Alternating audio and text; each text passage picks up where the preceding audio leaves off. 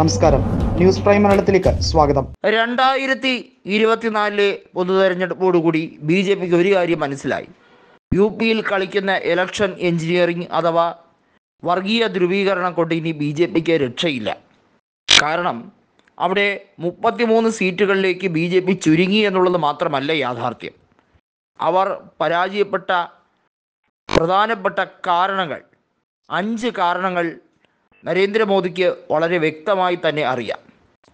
യോഗി ആദിത്യനാഥിന് അമിത ആത്മവിശ്വാസമായിരുന്നു ഉണ്ടായിരുന്നത്. ഒരു കാരണവശാലും എഴുപതിൽ താഴെ സീറ്റുകളിലേക്ക് ബി ജെ പി പോകില്ല എന്നും സമാജ്വാദി പാർട്ടി ഇത്തവണ ഒരു രീതിയിലും നേട്ടം കൊയ്യില്ല എന്നും യോഗി പല വേദികളിലായി തുറന്നടിച്ചു.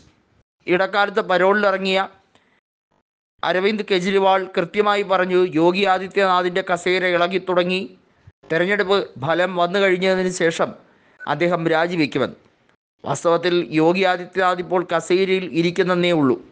ഉപമുഖ്യമന്ത്രിമാരായ ബ്രിജേഷ് വധക്കോ അതല്ലെങ്കിൽ കേശവപ്രസാദ് മൗര്യ ഒരു രീതിയിലും യോഗിയോട് സഹകരിക്കില്ല എന്ന് ബി ജെ പി നേതൃത്വത്തോട് പറഞ്ഞിരിക്കുകയാണ്. യോഗിയെ ഞങ്ങൾക്ക് ഒരിക്കലും നേതാവായി കാണാൻ കഴിയില്ല. നിയമസഭയിലെ ഘടകകക്ഷി നേതാവായിരുന്നാൽ പോലും അദ്ദേഹത്തെ അനുസരിക്കാൻ ഞങ്ങൾ ബാധ്യസ്ഥരുമല്ല. ബി ജെ പിക്കെതിരെ അവിശ്വാസം കൊണ്ടുവരാൻ സമാജ്വാദി പാർട്ടി നിരവധി തവണയായി ആലോചിക്കുന്നുണ്ട്.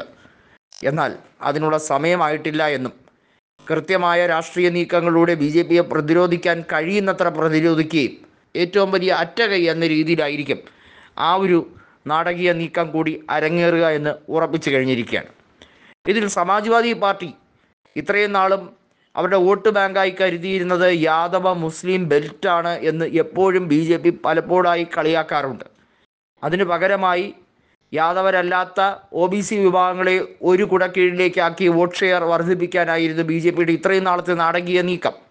എന്നാൽ അഖിലേഷ് യാദവിന്റെ പാർട്ടിയിൽ എല്ലാ വിഭാഗത്തിൽ നിന്നുള്ളവരും ഉൾക്കൊള്ളാൻ തുടങ്ങിയപ്പോൾ അവരെല്ലാവരെയും ഉൾക്കൊണ്ട് മുന്നോട്ട് പോകാൻ തുടങ്ങിയപ്പോൾ ബി ജെ പി പൊടുന്തനെ അവതാളത്തിലാവുകയായിരുന്നു.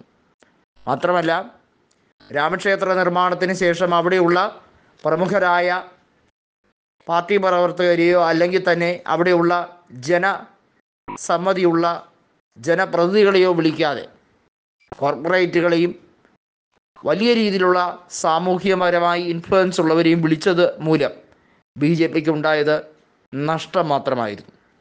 ഇപ്പോഴത്തെ കണക്കുകൾ നോക്കുമ്പോൾ ഇപ്പോഴൊരു നിയമസഭാ തെരഞ്ഞെടുപ്പ് നടത്തിയാൽ സമാജ്വാദി പാർട്ടി ഒറ്റയ്ക്ക് ഭൂരിപക്ഷത്തിൽ വരും എന്നുള്ളത് മാത്രമല്ല ബി ജെ പിക്ക് വലിയ രീതിയിൽ ഇടിവുണ്ടാവുകയും നൂറ് സീറ്റ് തികച്ച് കിട്ടാതിരിക്കുകയും ചെയ്യുന്ന സാഹചര്യമായിരിക്കും. നാനൂറിൽ നൂറ് സീറ്റ് പോലും തികച്ച് ഇപ്പോൾ ഒരു നിയമസഭാ തെരഞ്ഞെടുപ്പ് നടത്തിയാൽ കിട്ടില്ല എന്ന് അഖിലേഷ് യാദവ് അതുകൊണ്ടാണ് ബി ജെ പി നേതാക്കളോട് വെല്ലുവിളിച്ചുകൊണ്ട് പറഞ്ഞത്.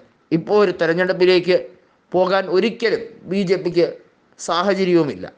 എന്നാൽ ഉത്തർപ്രദേശിൽ അഞ്ചു കൊല്ലത്തിന് മുമ്പേ തന്നെ ബി ജെ പി തമ്മിലടിച്ച് പിളരും എന്നുള്ളത് യാഥാർത്ഥ്യമാകും എന്നാണ് അഖിലേഷ് യാദവ് പറഞ്ഞിരിക്കുന്നത്.